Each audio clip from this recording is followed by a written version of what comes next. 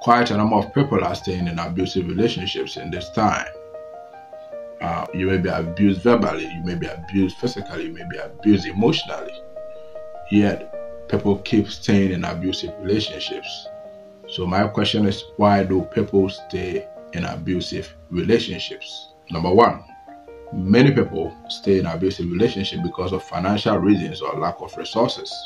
For example, you, you, you may be dependent on this person in the relationship for money, um, for shelter, for clothing, and you feel like if you leave this relationship, you are not going to get access to these resources.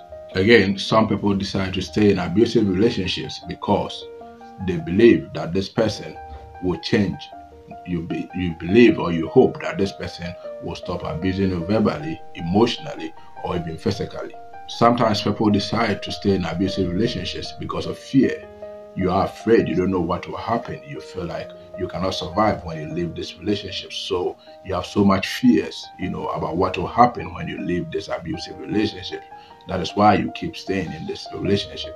You may stay in abusive relationship because of religious obligation. Quite a number of religious organizations do preach that you have to be in a marital relationship, for example, no matter what happens. This means that even if you are being abused, you, you still want to stay in the relationship because of your religious obligation. Some people also decide to stay in abusive relationships because they want to protect their children. They feel that if they are in this relationship, they can take better care of their children and protect them. And that is their reason for staying in an abusive relationship.